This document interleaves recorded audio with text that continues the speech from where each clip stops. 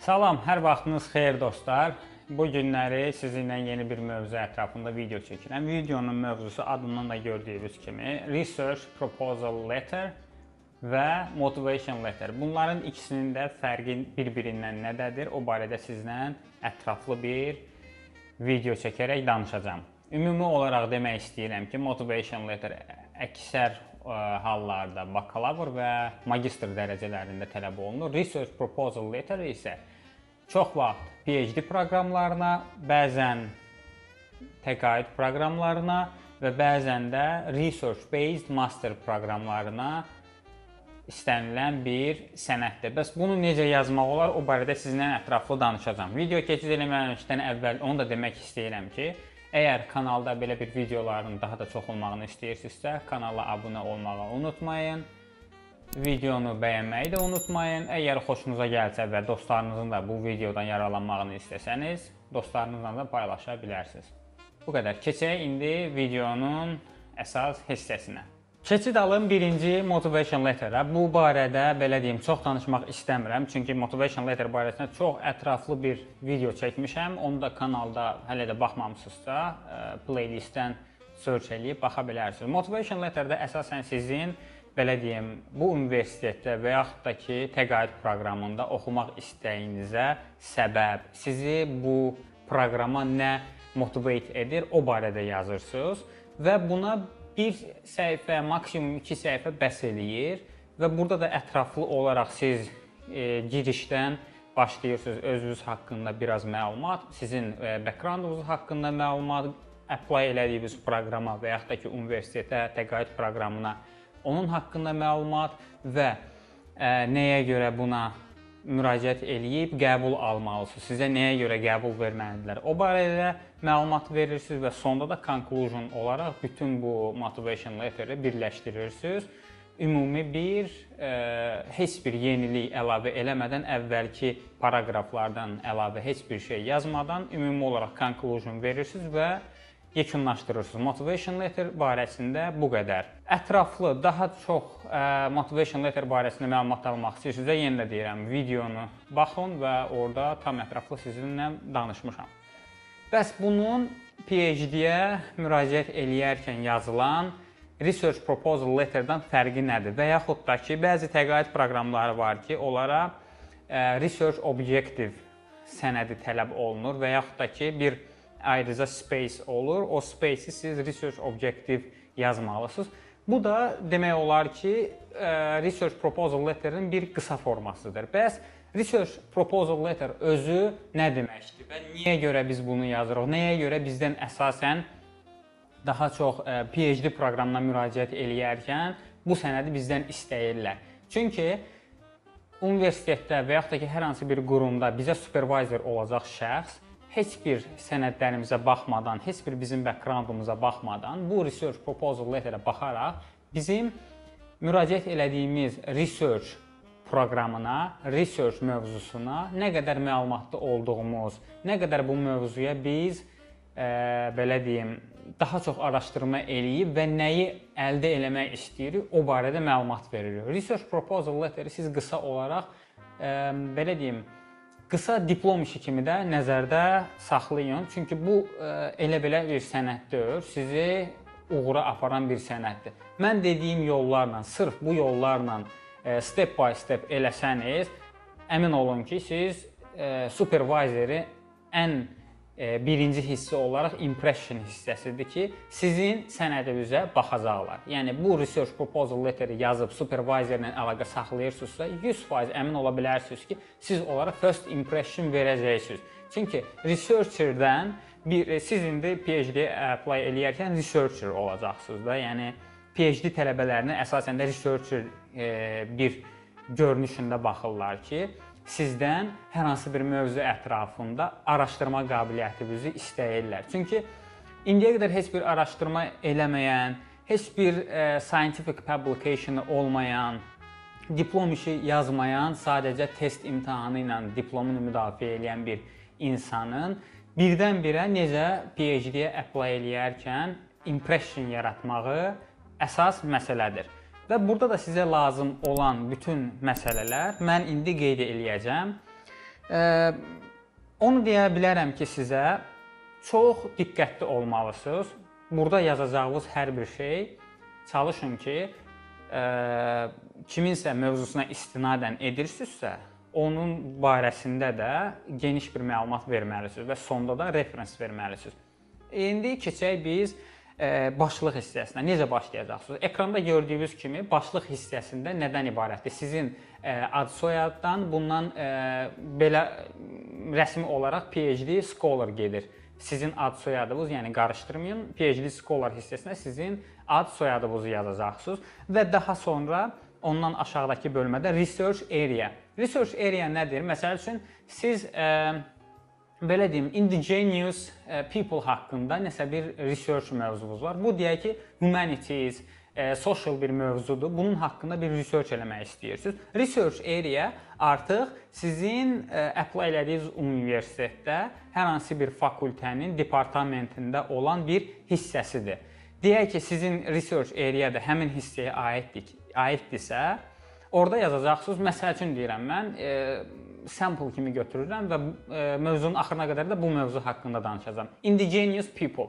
Indigenous people olacaq sizin research area. Bəs ondan sonrakı e, tentative PhD e, research topic. Bu artıq sizin spesifik olaraq bu research areaya uyğun olan bir mövzudur. Sizin e, 3 il, 3 il yarım, 4 il, 5 il baxır sizin PhD proqramına. Bu proqram ərzində research eləyəcəyiniz mövzunun əsası tam olaraq bu haqqında olacaq. Deyək ki, indigenous people-lar haqqında nə yaza bilərsiniz? Indigenous people e, yaşam standartlarının artırılması və yaxud da ki, onların hər hansı bir əraziyə inteqrasiya eləməsində vacib e, məqamları, yenilikləri siz e, research mövzunuza əlavə etmək istəyirsiniz və yaxud da ki, indigenous people-un hər hansı bir regiona inteqrasiyası zamanı üzləşəcəyi problemlərdə hər hansı bir solution ə, əmələ gətirməkləridir. Yəni bu problemlərdən tab gətirib onların ə, əraziyə uyğunlaşmasıdır. Yəni məsəl üçün deyirəm, bunu sırf bu mövzu kimi götürməyin, amma sizdə ümumi bir fikir formalaşsın deyə bu ətrafında danışacağam. Və Ə, keçək bundan sonrakı research topikin aşağısında introduction bölməsidir və yaxud da ki significance. Buna introduction and significance kimi yazılır və bu ə, sizin introductionda sırf ümumi bir research topicin, ümumi research paper'ın, research proposal letter'ın introduction'ını verəcəksiniz və indigenous people-ların hər hansı bir ə, yeni bir əraziyə inteqrasiya eləməsində mövcud problemlərdən üzləşməsi barəsində yazırsınızsa, introduction onun barəsində xırda bir məlumat yaza bilərsiniz. Bu e, eləyə bilər yarım səhifə, bir səhifə, bu sizdən tamamilə sizdən asılıdır. Ümumi olaraq onu deyim ki, research proposal letter sizin ə, e, supervizorin istəyindən asılı olaraq dəyişə bilər. Bu 2 səhifədə ola bilər, 15 səhifədə ola bilər 7 səhifədə, 10 səhifədə, amma minimum 2 səhifə kimi nəzərdə tutun. Əgər ə, supervisor sizdən qısa olaraq ümumi bir məzmun istəyirsə, 2 səhifəlik yazaraq bunu göndərə bilərsiniz. Yox, əgər sizdən ə, belə bir şey deməyibsə ki, ə, qısa olaraq göndərin, siz research proposal letter-inizi tam olaraq ə, deyim ki, 7 səhifə, 10 səhifə, 15 səhifə yazmısınızsa bunu göndərməlisiniz ona. Introduction-da ki, yarım səhifə, bir səhifə kimi elə söz kifayətdir. Amma çalışın ki, introduction-da sırf mövzuya nə qədər ə, e, aidiyyatı olduğunuzu tam göstərəsiniz və orada ə, e, heç bir autorun, heç bir ə, e, belə deyim, mövzu haqqında araşdırma eləyən bir şəxsin istinadını verməyin. Çünki bu sırf sizə aid olmalıdır. Sonrakı bölmələrdə hə, hər hansı bir insanın mövzusuna aid e, istinad verərək yaza bilərsiniz. Amma introduction-da məsləhət görülmür ki, bunu siz e, belə deyim istinad verəsiniz.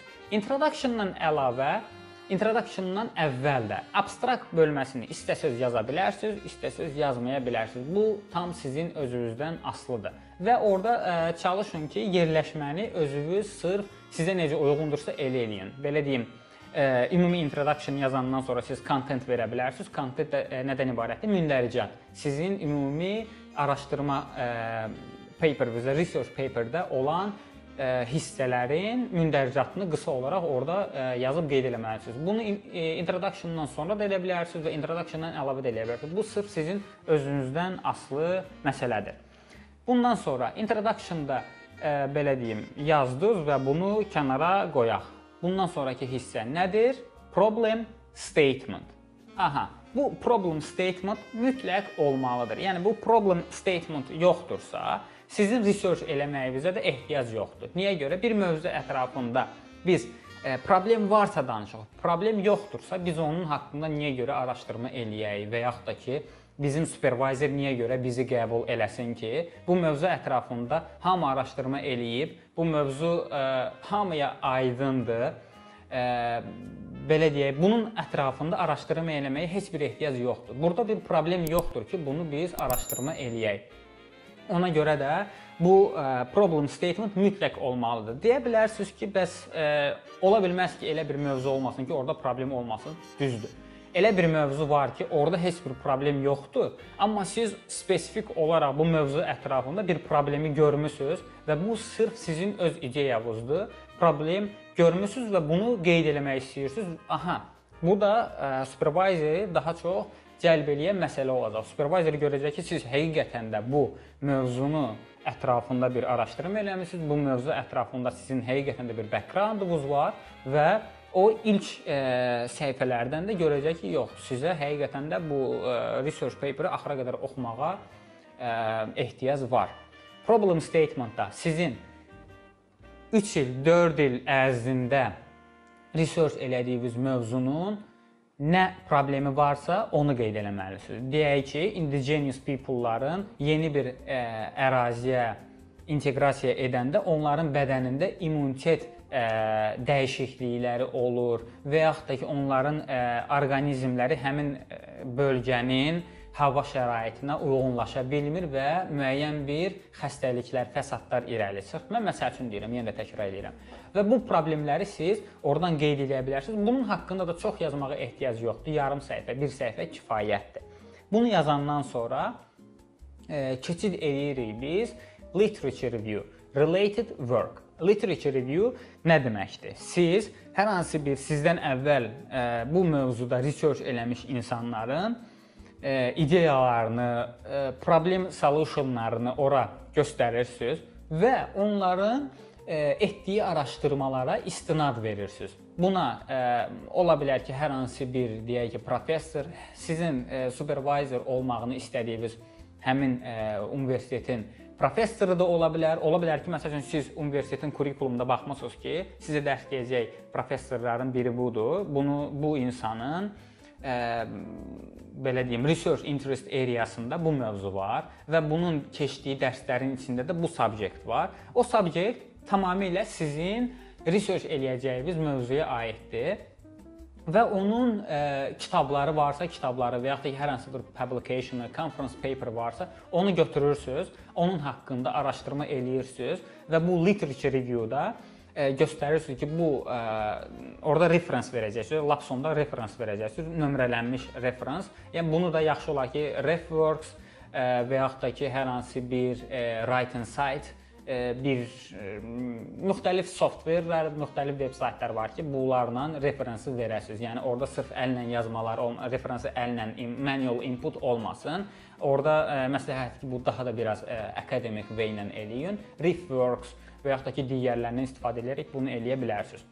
E, literature review-nu da verirsiniz. Məsəl üçün ikinci referens, e, ikinci autor e, burada bunu e, qeyd eləyib. Mən də bu mövzunu bura ə, ətək eləyirəm və bunun haqqında araşdırma eləyirəm. Literature review-nu da elədim. Bu eləyə bilər Burada da hissələr bölünür. Birinci həmin o literature review-larda müəyyən hissələrə bölünür. Bu sizdə eləyə bilər 5 səhifə, 6 səhifə, 10 səhifə. Bu literature review daha ətraflı olunmağı məsləhətdir. Yəni bu sizdə görünəcək ki, e, impression yaradacaq ki, supervisorda həqiqətən də siz hər hansı bir mövzunu research eləyə bilərsiniz və yaxud da ki, gələcəkdə eləyə biləcəksiniz. Bu günə qədər də bu research eləyə bilmisiniz və tam aydın olaraq bu hər hansı bir yazıçının, hər hansı bir müəllifin yazdığı hər hansı bir conference paperi, hər hansı bir kitabı haqqında araşdırma eləmisiniz və bunu ətək eləmisiniz bura. Ətək eləmisiniz deməyək, input vermisiniz deyək ki,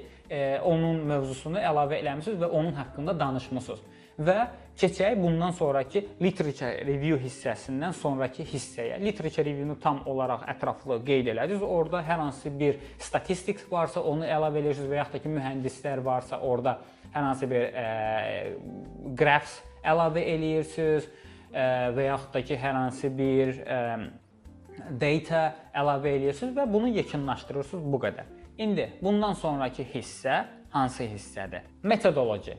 Metodoloji hissəsində sizin bu literature review-sundan nəzərə alaraq və bundan ortaya çıxardığınız bir ümumi məsələ ortaya çıxacaq. Bu metodoloji sizin lap əvvəldən də verdiyiniz kimi e, problem statement hissəsindən artıq bunun solution e, hissəsidir. Problem statement-ı verdiniz, ondan sonra literature review elədiniz. Metodoloji hissəsində bu ikisindən nəticə çıxardırsınız və bu problemi müəllifin e, ideyalarına istinad verərək qeyd eləyirsiniz. Hər hansı bir çatışmazlıqları, hər hansı bir e, ideya çatışmazlığı ola bilər, hər hansı bir resurs çatışmazlığı ola bilər və sizin bu pre, e, problemə yeni bir ideya gətirməyiniz olur. Və bu sırf sizin qəbul olmağınıza şans yaradır ki, Əgər siz o metodoloji hissəsində hər hansı bir problemə yeni bir metod e, metod gətirirsinizsə, bu maraqlıdırsa, insanlar, e, supervisorlər, potential supervisor və yaxud da ki, hər hansı bir insan, müraciət elədiyiniz insan bununla maraqlanacaq. Ən əsas hissələrdən də biri budur. E, baxacaqlar ki, sizin ideya həqiqətən də yeni bir ideyadır, yoxsa onlara müraciət edən əvvəlki PhD studentlar da artıq bu barədə e, belə deyim, ideya olub və e, onlar successfully bunu bitiriblər. Sizə təqaüd armağa ehtiyac yoxdur. Yəni sizə bu e, research 3 il, 5 il üçün götürməyə, sizə invest eləməyə ehtiyac yoxdur. Ona görə də bu metodoloji hissəsi çox unik bir ideya olmalıdır. Çalışın bunu heç kimə yazdırmayın. Heç bir ə, e, Azərbaycanda sizin universitetdə, Bakıda və yaxud da ki, hər hansı bir ə, rayonda, şəhərdə oxuduğunuz universitetin heç bir elmi iş rəhbərimiz, heç bir e, universitet müəllimi, professor buna qarışmasın. Bu sırf sizin özünüzün bu günə qədər elədiyiniz, research elədiyiniz e, materiallardan və problemi gördüyünüz hər hansı bir məsələnin çıxış yolları, həll yolları haqqında olmalıdır. Bunu heç kimdən kömək almayın. Məsləhətdir ki, sırf özünüz eləyin. Çünki gələcəkdə bu barədə problem yaşaya bilərsiniz siz.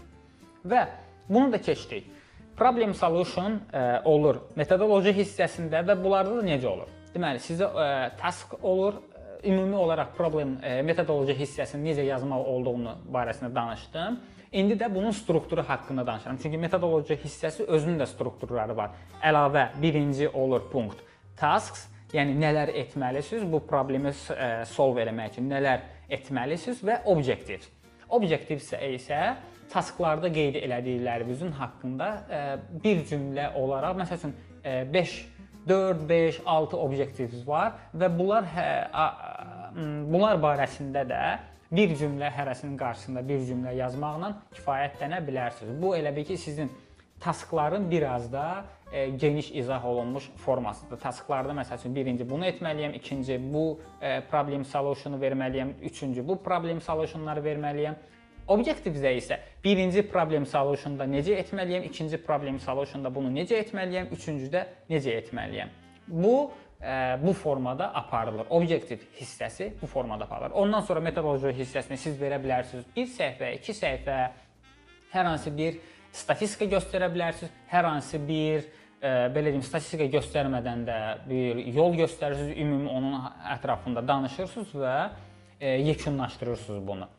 Bunu da uğurla eləyəndən sonra çalışın mövzunu e, conclusion verərək ümumiləşdirin. Ümumi olaraq da nə, nə yazırsınız və ə, qeyd edirsiniz ki, sizin research qrupuna qoşulmaq mənim üçün böyük bir ə, opportunity ola bilər, məni gələcəkdə daha çox uğurlara apara bilər və ə, elədiyim bu research və gələcəkdə də sizin ə, timə qoşularaq bu research eləməklə successful bir e, person olmaq istəyirəm gələcəkdə. Ümumi belə bir e, sözlərlə yekunlaşdıra bilərsiniz. E, conclusion-da da yenə də e, conclusion-un son hissəsində də e, sizin lap birinci verdiyiniz tentative PhD research topic haqqında da geniş e, olmasa da qəbul ediləndi. 3-4 cümlə ilə bunu yazırsınız və yekunlaşdırırsınız. Sonda yenə də deyirəm, yaddan çıxmasın, reference vermək lazımdır. Reference nə deməkdir? Məsəl üçün mən hər hansı bir mövzu ətrafında araşdırma eləmişəm, mənim ideyamı siz götürürsüz və mənim adımı orada qeyd eləmədən, reference vermədən onu özünüzünki kimi göstərə bilmərsiniz. Çünki e, kopyalamış olursunuz və bu da e, etik sayılmır. Akademik e, etiket qaydalarına uyğun gəlmir. Hər hansı bir research eləyirsinizsə, kiminsə ideyasından 100% istifadə eləmisiniz. E, 100% yenə də deyirəm ki, mümkün deyil ki, bu sırf özünüz yazasınız. Literature review varsa orada siz mütləq kiminsə ideyasından istifadə eləmisiniz, ona görə də reference mütləq verməlisiniz. Ya bunu da yaddan çıxarmayın, çünki bunu e, verməsəz e, supervisor da sizin haqqında biraz e, mənfi fikir formalaşa bilər ki, yəni bu insan research eləməyi bacarır, amma sona qədər bunu publish eləyə bilməz. Çünki e, publication-da standartları var ki, sonda siz reference verməlisiniz.